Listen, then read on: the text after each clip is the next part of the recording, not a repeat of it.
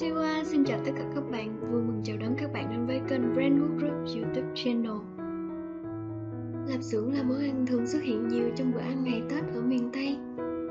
Dĩa lạp xưởng khìa với nước dừa hay nướng lên, sắc xéo ăn chung với dưa món ngồi lai rai là hết sảy. Gần Tết, đi ngang qua khúc Long An, Tiền Giang là thấy nguyên con đường lạp xưởng đỏ ao là thấy không khí Tết tràn về rồi.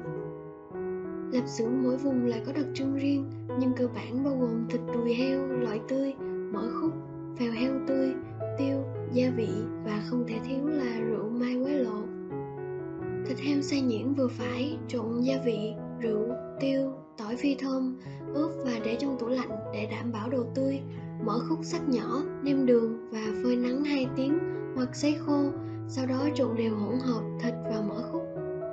Phèo heo rửa sạch với chanh, muối và rượu mai quế lộ dồn hỗn hợp thịt và mỡ khúc vào phèo heo độ dài 20 cm cột lại thành đoạn nhỏ kích thước tùy ý. Lấy kim hoặc tăm xăm những lỗ nhỏ trên lạp xưởng để không bị bóng khí. Trùng lạp xưởng qua nước sôi và để ráo phơi ngoài nắng khoảng 4 ngày hoặc 10 ngày tùy sở thích. Nếu không có nắng chúng ta có thể dùng lò sấy nhiệt độ thấp nhất từ 50 tới 60 độ C xoáy trong khoảng từ 3 tiếng tới 6 tiếng. Lạp xưởng có rất nhiều loại như lạp xưởng heo, lạp xưởng tôm hay tung lò mò của người chăm dùng thịt bò. Nếu một lần có dịp ghé miền Tây, các bạn ghé ăn lạp xưởng khi nước dừa và dưa món, mặn mòi của lạp xưởng, ngọt thanh của nước dừa, chua chua giòn giòn của dưa món, làm khách phương xa khó